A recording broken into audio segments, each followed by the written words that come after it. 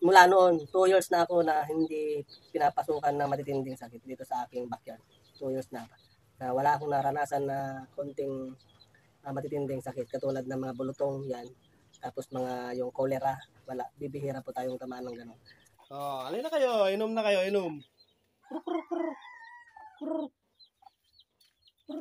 Sila, yan. Hmm.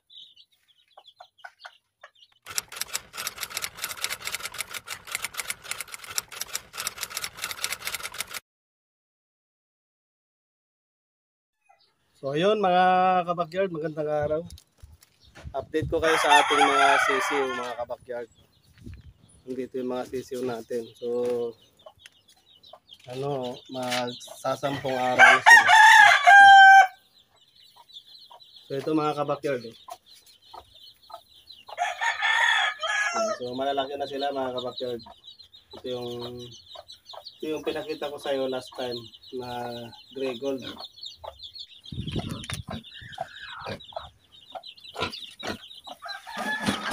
Okay, mga mga baboy tayo dito, mga oh. Tatlo. Ubos na yung pagkain nila. So dito natin nilagay yung pagkain, yung kainan nila ngayon para matuto silang umakyat. At para hindi rin malagyan ng dumi. Kaya nilagyan natin ng tray na ganyan.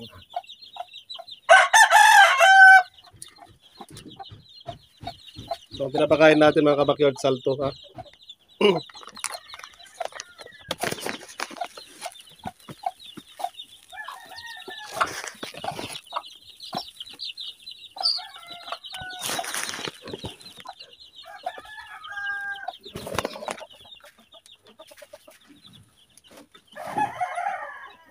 Ayan mga kabakyard.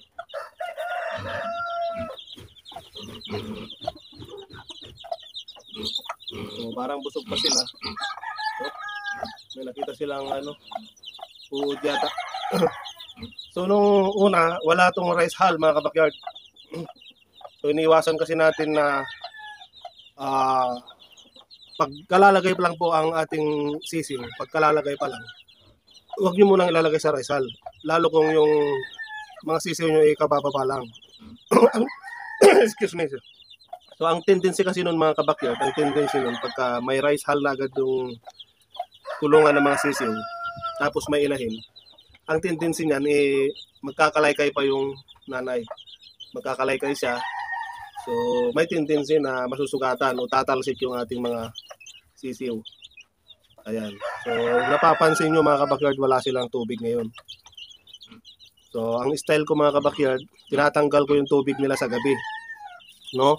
So umaga ngayon, lalagyan na natin sila ng tubig. Sa gabi kasi mga kabakyard, iniiwasan natin yung ah umiinom pa sila ng bandang hapon na. Tapos yung pagkagising sa umaga, ah iinom sila agad. So iniiwasan natin yun kasi maaari silang tamaan ng sipon. O yan o, sisiglan nila mga kabakyard to. Saka maganda kung may rice hull na sila mga ayan, mag isang linggo yung magkaroon na sila ng pakpak. Ayan. So napapansin ko dito mga kabakyard, kakaunti lang yung lalaki. So mga lalaki dyan mga kabakyard, kung ganyan ang itsura ng mga sisiw nyo, ah, nasa 10 days pa lang. So wala pa tong 10 days mga kabakyard. So parang ano pa lang to, mga last time na nag-vlog tayo 4 days, tapos mga nasa 6 days pa lang to or 7 days mga kabakyard. So kung napapansin nyo, may mga sisiw dyan na maikli ang pakpak. Tapos yung iba, halos kompleto na yung pakpak. No? Yung iba. Halos kompleto na yung pakpak yan. Yan mga kabakyard. Yung iba may iksi. Pansin nyo yan, may iksi yan. oh. Yan. So, dyan pa lang, makikita nyo na lalaki at babae. Yung may iksi ang pakpak, lalaki po yun mga kabakyard. At yung mga mahahaba, yung mahabang pakpak, yan po yung mga babae. Yan, dyan po ang basihan ko pag ako ay nag-breed. Ayan, yan yan, inahin po yan, yan. Ito, inahin yan.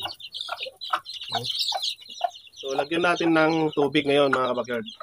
So, may papakita ako sa inyo na ginagamit natin sa ating mga sisiw. Kahit hindi tayo nagpapaksin, malakas yung immune system nila, malakas yung resistensya nila. So ito, papakita ko sa inyo mga kabakyard. So ito mga kabakyard yung pinapainom natin sa kanila. No? So hindi ito nabibili sa poultry supply. Pero sa tindahan ko mayroon to. No? So ito ay food supplement mga kabakyard. Ito. Food supplement to mga kabakyard na First Vita Plus. So hindi natin naka, naka, nakapansin yan. First, First Vita Plus. I, i-plug ko na lang sa screen dito sa side. Yan, para makita nyo. So ito mga kabakyard is First Vita Plus. Uh, food supplement na iniinom din ng tao. No? So ito yung food supplement na ah, iniinom ng tao para lumakas yung immune system natin. Dahil ang food supplement na ito ay gawa sa limang herbal o limang dahon talbos. So ginawa nila ito sa limang talbos. So ang ingredients nito ay wala siyang sugar na nakalagay. So ang tamis na ginamit nila dito mga kabakyard, siyempre may tamis to. Itong dalandan. Ano? So napapansin nyo, dalandan yung pinaka-ingredients niya. So dito pala mga kabakyard, yung mga sisiw natin, ah, ligtas na sa sipon talaga mga kabakyard. Dahil ang dalandan alam naman natin na mataas ang vitamin C niyan. Tapos ito mga kabakyard, itong First Vita Plus na to ay gawa sa limang talbos. Yun na nga yung dahon ng kamote. Ito, tignan na lang natin, nandito naman eh.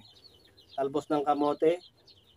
Ayan, so talbos ng saluyot, talbos ng sili, at talbos ng malunggay. Pala mga kabakyard. Ayan, so so ito yung gawa dito. So may pagkamahal ito mga kabakyard, no? May pagkamahal.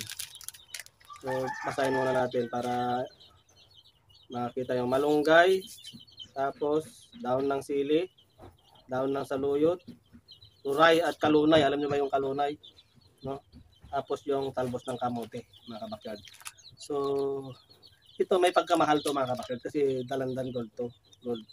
So, ang paggamit dito, konti-konti lang. So, pinapakulay-kulay ko lang yung tubig. Pinapakulay ko lang. Dito pa lang sa ingredients nyo na ito, nakakakain na yung mga sisiw natin ng talbos. Pansinin nyo ang mga alaga mga kabakyard, pagka naka-pre-rinse yan, kumakain po yan ng mga talbos-talbos. No? Tumutuka yan ng mga talbos-talbos. So yung alam nyo yung malunggay mga kabakyard yan ay mayaman sa antibiotic. So antibiotic po ang talbos, ah, ng malunggay. Alam nyo po yan, di ba? Tapos ang talbos ng kamote, eh, nagpapadagdag po yan ng pulang dugo. Kaya nabibigyan sila ng natural na natural na red, red blood cell na hindi na natin pinapainom ng B12. No? Tapos yung saluyot naman mga kabakyard, ito yung nagsisilbing ah, panunaw nila. So ito yung tinatawag nilang ah, sabon sa loob ng bituka ng natin. So kahit mga mga animals, kahit mga tao, so maganda ito kasi ah, pinapabilis na yung metabolism natin. So ito yung nagsisilbing ano ah, lubricant. Ayan. So pag tinatawag nilang lubricant, ito yung pampadulas. No? lubricant. So maganda yung pagka yung mga digestive system ng ating mga alagang sisiw. Tapos sa uray at kalunay, ah, ito yung ah, lumalaban din sa mga skin disease, mga kabakyard. Tapos alam naman natin na yung ginamit na ingredients kasi kung iinumin mo yung tatlong o yung limang talbos, anong lasa nun? Siyempre hindi masarap, di ba? Kaya nilagyan nila ng ingredients na dalandan. Ngayon ko lang ito isi-share sa inyo mga kabakyard dahil ah, hindi naman dapat talaga ito binibigay sa ating mga alagang manok, mga sisiw. Pero pwede po natin itong ibigay kung gusto natin. Ayan, dahil 3 years ko na po itong ginagamit sa ating mga sisiw, sa ating mga sisiw lang. So sisiw ko lang ito ginagamit kasi kung gagamitin natin pati sa mga malalaki magastos. No? So sa sisiw pa lang dahil ang sisiw yan ang pundasyon yung pagiging sisiw nila, dapat dyan natin sila patitibayin. So kahit gumastos tayo ng medyo mahal, basta yung mga alaga natin, ligtas naman. At hindi masasayang yung patukan natin. So kung gusto nyo bumili ng ganito mga kabakyard, message nyo lang ako. No? Message nyo lang ako sa pan at re-replyan ko kayo sa comment box kung saan pwede makabili ng ganito mga kabakyard. Okay, so napakaganda mga kabakyard. Mula noon, 2 years na ako na hindi pinapasukan ng matitinding sakit dito sa aking backyard. 2 years na na wala akong naranasan na konting ah, matitinding sakit katulad ng mga bulutong yan tapos mga yung cholera wala bibihira po tayong tamaan ng ganun mula nung ginagamit ko to so ngayon ko lang to i-share sa inyo kasi unfair naman kung yung channel natin ay nagsishare ng magagandang tips sa ating pagmamanukan, ah unfair naman kung hindi ko sa inyo ituturo to. No? So, dahil gusto ko na makatulong sa inyo, at hindi naman tayo nagpo-promote mga kabakyard. Kung nasa lahat, hindi natin pinopromote. Disclaimer, ano? Hindi natin pinopromote itong First Vita Plus. Yan, i-search nyo sa YouTube o kaya sa internet. Malalabas to. First, First Vita Plus. 5 power herbs, sabi niyan. So, sinishare ko lang to sa inyo para naman mas ah, may magamit kayo sa inyong manukan na po magpataas ng immune system ng inyong mga lagang sisig. So, ang goal natin dito is palakasin at patibayin yung ating mga sisiw. So, yung pundasyon, yung immunity system nila. So, yun yung pinaka-goal natin. So, instead na antibiotic ibibigay ko ngayon, ah bibigyan ko nito. So, ginagamit ko ito mga kabakyard two times a week lang. Two times a week. So, Monday, saka ano lang, ah, Monday ngayon, tapos gagamitin ko ulit so, sa Friday, mga kabakyard. So, hindi ko to lalagay lahat. Ano? Sige, tignan natin kung paano ko gagawin to mga kabakyard. So, panoorin nyo kung paano natin to gagamitin. So, yan mga kabakyard, nilagyan na natin ng tubig, pero konti lang muna. No? Konti lang muna ilagay natin. Tapos, dito, tatansyahin lang natin mga kabakyard. Ayan, no? Tansya lang din. Parang bitrasin siya, no? Yung kulay nga, parang bitrasin. Ayan. So, tansya lang yan. Tama na yan. So, ganyan lang. So, tago na naman natin itong natira. Ayan, mga kabakyard. So, first Vita Plus sa sisiw. Para sabihin nyo, hindi tayo nagsisinungaling.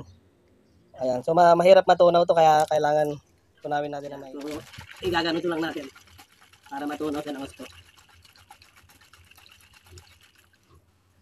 Ayan. So, kaunti lang mga kabakyard.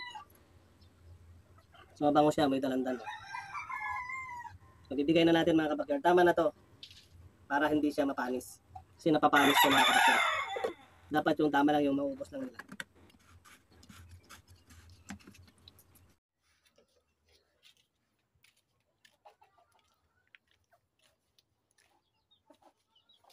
Oh, alin na kayo, inom na kayo, inom.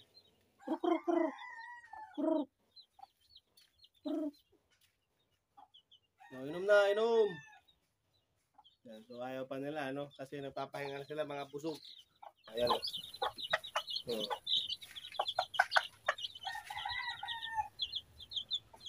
Yan, oh. So, lulusog nila mga kabakyard. Tingnan nyo yung mga mga likod nila, napakalapad na, ano? So may pa, yung nahuli na yun, yung maliit na yun, mga kabakyard. Ayun, yung maliit na yan. Napisa lang po yan doon sa incubator natin. So, yung iba, hindi na napisa kasi run out na po dito ng ilang araw. Gawa ng bagyo. So, sayang yung ibang itlog natin na hindi napisa. So, yun, nahuli yan, kaya ganyan itsura, mga kabakyard. So, titingnan natin makaka-recover yan. Ito malaki to, lalaki to mga kabakyard to, lalaki. Ayan, no. Sarap na sarap sila, oh. Hmm. So, ba naman ang uminom ng food supplement, eh. Para ka na rin kumain ng, ano, albos. So, ililipat na natin dito yan kasi malalagyan yan ng dumi. Yan. Lagay natin yan, guys.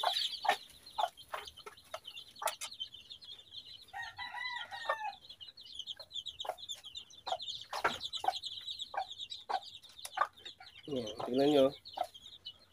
May pumunta pa sa doon sa gilid. So hanggang dito na lang muna tayo mga kabakyard ha. Update ko na lang kayo after 2 days ulit. Titignan natin kung ano yung magiging resulta ng ating mga sisiw dahil maganda naman yung kulungan nila ngayon. Yan. So lalagyan lang natin ito ng tabing mga kabakyard kasi maraming mga pusa. No? Ayan. So ito na si Lemon Sweater oh. Kasi Milsim Black. So update ko rin kayo, meron na siyang tatlong itlog. Ayan, so bago lang tong isa. So ang ganda ng mga itlog nilang lalaki. So kung bibigyan ko kayo ng tips mga kabakyard, pag ang itlog ay malalaki, kahit yung pansinin niyo yung mga inahin natin maliliit o dumalaga pa. Pag ang itlog na yan ay malalaki, ibig sabihin mataas po yung fertility ng itlog na yan. So, ibig sabihin, ah, 100% na mapipisa po yan. Kasi yung mga maliliit na itlog mga kabakyard, nire-reject ko na yun. Kasi mababa po ang fertility level nun. So ito mga kabakyard yung gray natin. ah. Gray. So, lilim-lim pa rin. Antayin natin hanggang mapisa mga kabakyard. So yun mga kabakyard, tapos na tayo sa pag-update sa inyo ng ating mga alaga dito sa likuran. So mayroon pa naman tayong mga alaga nandun. No? So yun yung hindi ko pa sa inyo pinapakita. Pero next vlog papakita ko tayo sa inyo. No? May mga may mga breeding area rin tayo doon. Nandun si Grey Gold, saka yung Grey Gold din na inahin. Papuro. Papuro yun. Nandun yung ibang mga kakirens natin. So hanggang dito na lang mga kabakyard. Sana nagustuhan nyo yung video nating senior ngayon. At sana nagkaroon kayo ng tips kung ano yung maganda dun sa ating mga sisiw, kung ano yung ginagamit ko. Ito, hindi ito, ito tinuturo ng iba pero yung mga yung mga inire-recommend nila sa inyo na alam nyo na yun, yung mga food supplement din, eh, gamit din ng tao yun.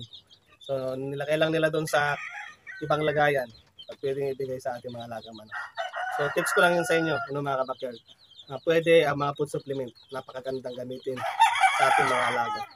Mataas ng immune system, talaga, hindi ka pa basta-basta matatamaan ng kahit anong uri ng sakit. Yan ang pinakamalaga dahil tayo ang pera mga backyard. No? So hanggang dito lang mga backyard, sana mag-subscribe ka kung ikaw ay bago. At ikaw ay luma, maraming maraming salamat sa patuloy na papanunood dito sa ating channel. Every time na nag-upload tayo, may mga tips tayo na binibigay. Okay, kita-kits na naman sa susunod na mga episode. I love it.